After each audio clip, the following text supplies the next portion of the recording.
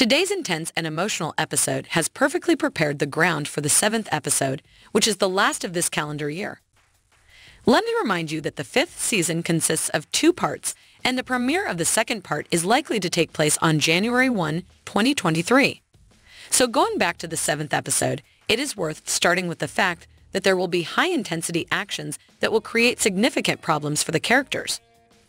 Taylor Sheridan can pull out the big guns and delivering a story that goes both back to basics and also in a totally new direction.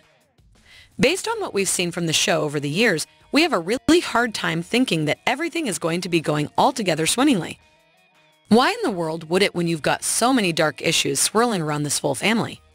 Given that this is such a notable episode of the show, the question arises if we will see some kind of cliffhanger. I wouldn't rule it out.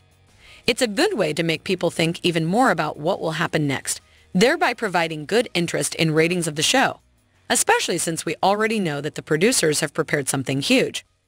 What do you want to see most in the next episode?